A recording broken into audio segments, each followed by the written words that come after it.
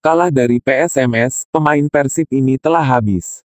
Dalam lanjutan Piala Presiden 2018, secara mengejutkan tim tamu PSMS Medan akhirnya berhasil mempermalukan tuan rumah Persib Bandung 2-0 di depan publiknya sendiri seperti dikutip fifa.co.id, tanggal 21 bulan 1 tahun 2018.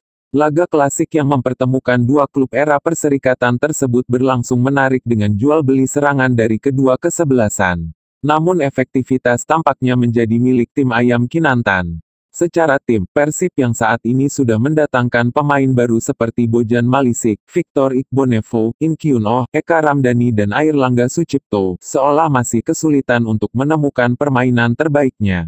Bahkan dalam dua laga terakhir ini Maung Bandung terlihat belum nyaman dalam memainkan bola.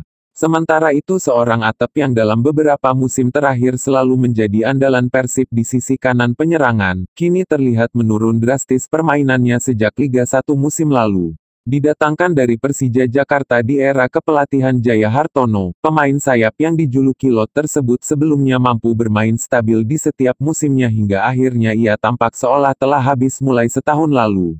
Dalam laga melawan PSMS di GBLA, minggu malam, tanggal 21 bulan 1 tahun 2018 tadi, Atep bermain kurang maksimal. Ditempatkan di sayap kanan, pergerakannya tampak dimatikan dan kesulitan untuk menembus sisi pertahanan lawan yang dikawal mantan rekannya, Jajang Sukmara. Berbagai pertanyaan pun tentu akan muncul termasuk masih pantaskan pemain jebolan Uni tersebut berseragam Persib. Berada di tangan pelatih kawakan dengan rekam jejak mumpuni sekelas Mario Gomez sudah semestinya dimanfaatkan oleh Atep sehingga permainan dengan ciri khas tusukan-tusukan dan tendangan jarak jauh yang ia miliki kembali dapat dipertontonkan lagi di depan para bobotoh.